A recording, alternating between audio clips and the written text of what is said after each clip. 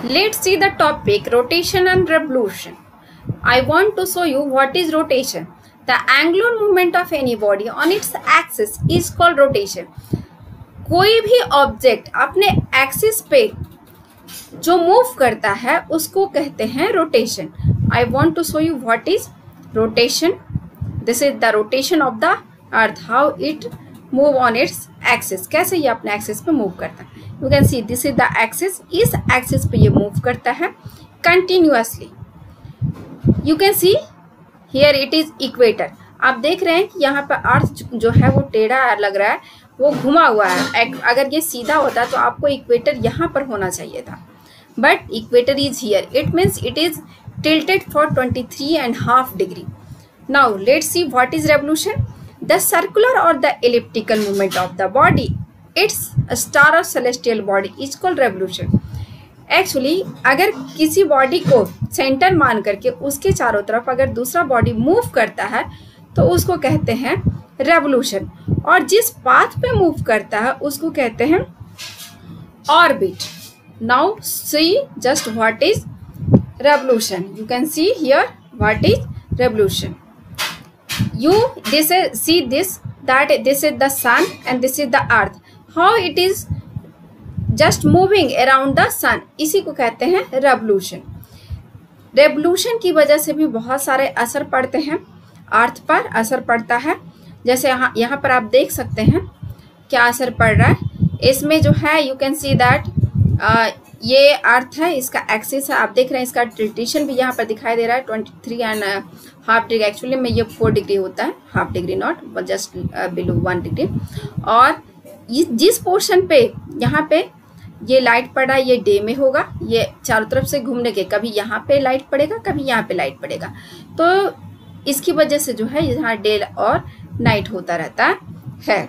Now see the next is the rotation of the earth and uh, what happened due to this on the earth? इसका क्या असर पड़ता है अर्थ पे? तो रोटेशन जो है वो काउंटर क्लॉकवाइज डायरेक्शन में होता है। ऑफ़ द राइट थम आप ये देखिए this is the thumb right thumb और इस थम के चारों तरफ़ जो है आप ऐसे ऐसे मुट्ठी बाँध करके, ऐसे करके देख सकते हैं। इसी डायरेक्शन में जो है, ये अर्थ अपने एक्सिस पे मूव करता है। तो अर्थ के रोटेशन की वजह से क्या क्या होता है? तो रोटेशन की वजह से जो है डे एंड नाइट होता है। ये देखिए दिस पोर्सन ये यहाँ पे लाइट पड़ रहा है, जिसकी वजह से ये यहाँ डे है और ये अब जहाँ पे लाइट नहीं पड़ रहा है, वहाँ पे नाइट है। एक्चुअली यहाँ तक ये जो है आपका, ये जो है डे वाला पोर्शन है और ये नाइट का पोर्शन है। रोटेशन की वजह से जो है अर्थ और एटमोसफेयर के बीच जो है कोरियोलिसिस इफ़ेक्ट क्रिएट होता है। और इसके बाद टिल्टेशन की वजह से जो है रोटेशन टिल्ट और रोटेशन की वजह से जो है डे और नाइट में डिफरेंस होता है। आपने ध्यान दिया होगा कि कभी जो है दिन बड़ा होता है, कभी रात बड़ा बड़ा होता है। ये भी इसी की वजह से होता है। कोरियोलिसिस इफ़ेक्ट और रेवोल्यूशन की वजह से सीज़न भी होता है।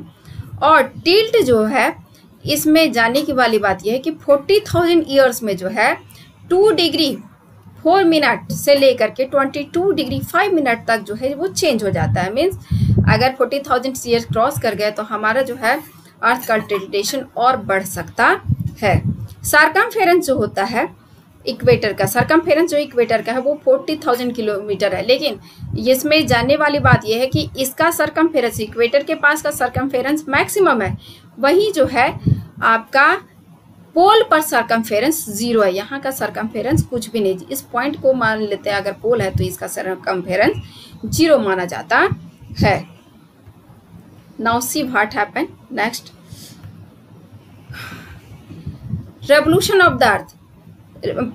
ये आपका टाइम होता है three hundred sixty five days six hours and eight minute actually इस टाइम में जो है अर्थ सन का एक पूरा राउंड जो है, ले लेता है। और जो सिक्स आवर्स है, ये सिक्स आवर जो है आपको कन्वर्ट हो जाते हैं, हर फोर इयर्स में ऐड होकर के एक दिन बढ़ जाता है, जिसकी वजह से लीप ईयर जो है, वो three hundred sixty six days का हो जाता है। ट्रैवल पाथ ये है ट्रैवल पाथ जिस जिस पे जो है अर्थ मूव कर रहा है। अर्थ मूव कर रहा है, इस ट्रैवल पाथ को कहते हैं this travel path is here इस ट्रैवल पाथ को कहा जाता है orbit now I want to show you in this picture something this is the highest. Highest this is the lowest distance of uh, between sun and earth. इन इन दोनों के बीच जो है सबसे कम डिस्टेंस होता है। इसको कहते हैं पेरीहेलियन उसी तरह से ये वो समय तो जुलाई जुलाई फोर इस समय जो है ना सबसे ज़्यादा जो है डिस्टेंस होता है इसको एपहेलियन बोला जाता है। दो इक्वनॉक्स होते हैं दो सोलिस्टिस होता है जिसमें पहला सोलिस्टिस जो होता है 22 दिसंबर को होता है। दूसरा सोलिस्टिस जो होता है 21 जून को होता है। इक्वेनेक्स भी दो होते हैं, एक मार्च को होता है, एक मार्च सितंबर ट्वेंटी थर्ड को होता है। ये सेंटर है आपका, ये है focus of the eclipse so you have seen some points about the revolution and rotation. Thank you.